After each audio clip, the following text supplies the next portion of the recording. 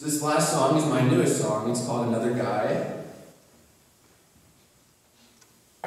It's about telling your partner that uh, you're cheating on them.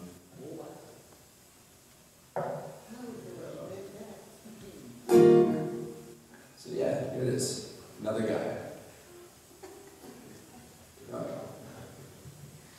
I drink some of this. My voice, like, if I don't